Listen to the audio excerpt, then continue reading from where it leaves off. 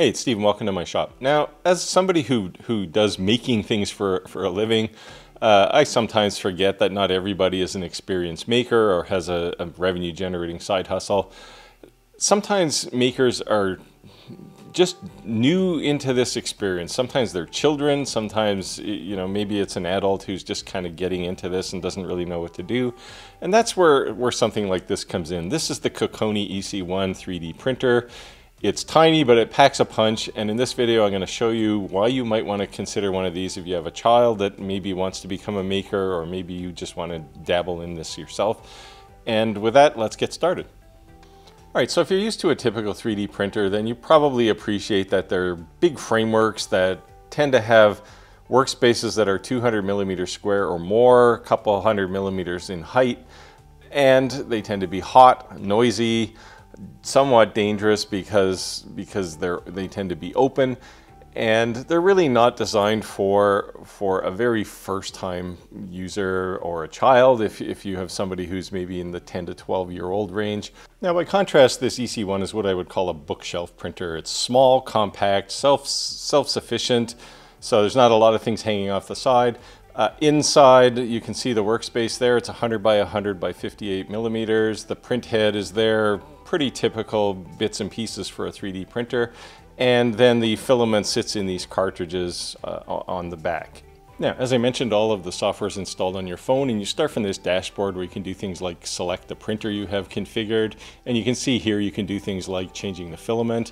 Uh, back on the dashboard, you can also get access to help and there's useful videos and some documentation here.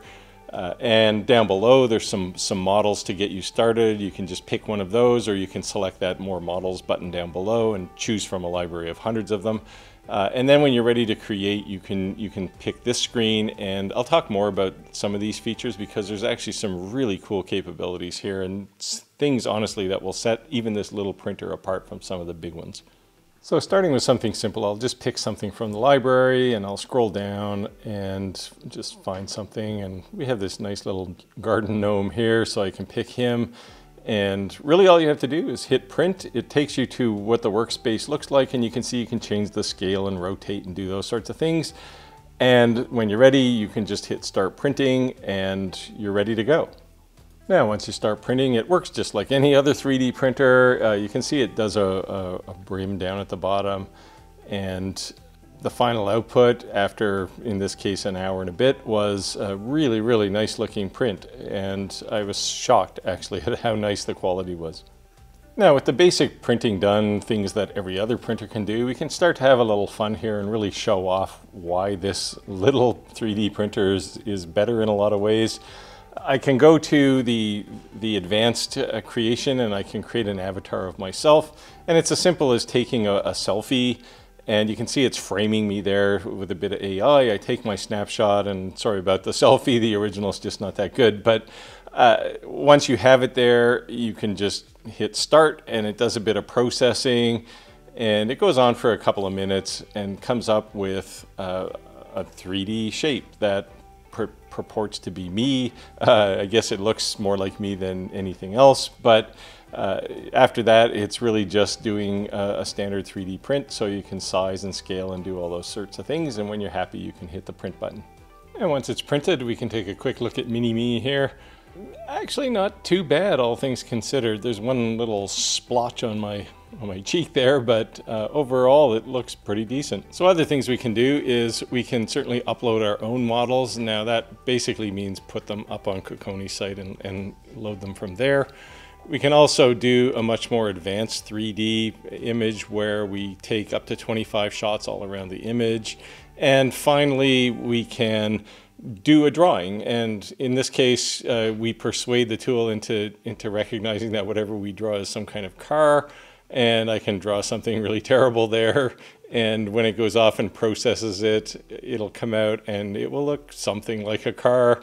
And you can do kind of cool stuff like that. So, uh, so that's the, the, the, the AI portion of the software. It's actually really cool. There's some neat things it can do, and, and uh, you know, you'll probably enjoy some of this. So the Kokoni EC1 is as good a printer as I've ever seen. The print quality here is excellent. And in addition to that, there are a few features that make this printer stand alone. First of all, it's completely assembled out of the box. You don't really have to do anything but drop it on a desk, plug it in, and install some software on your phone and everything else is kind of taken care of for you.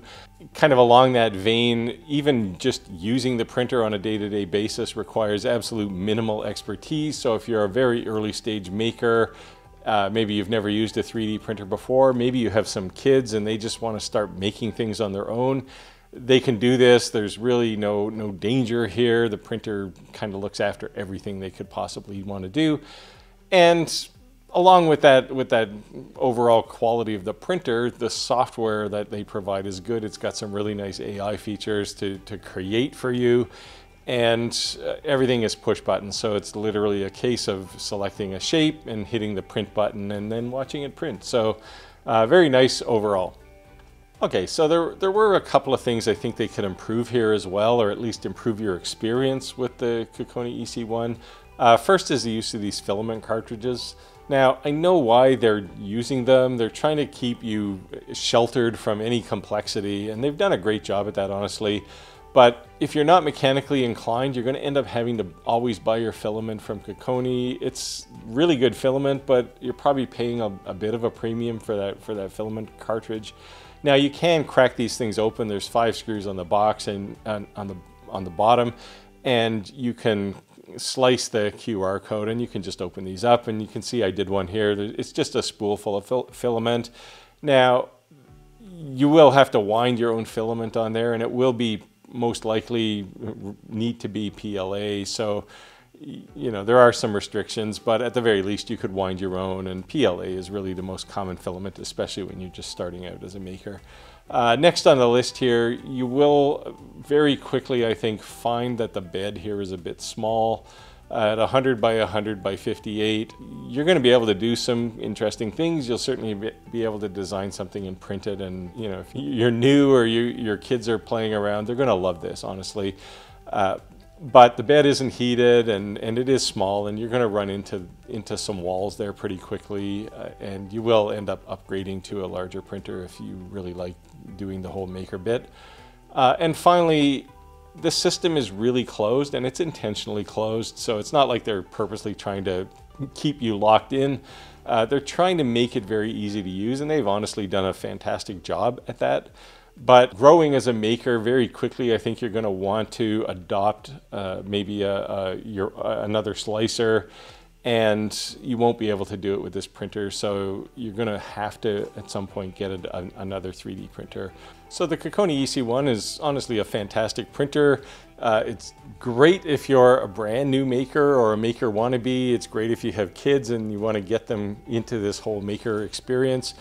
And I'll put an affiliate link down below if you want to pick one of these up. Uh, you know, use that link and you'll help out the channel. I'll also put a video up above, which is maybe the next thing you should watch here if you want to see maybe how this compares to a, to a more complex 3D printer. Uh, you'll certainly see that this one is far easier to use. And with that, uh, we can wind down. So get out there, make your world, and I'll see you next time.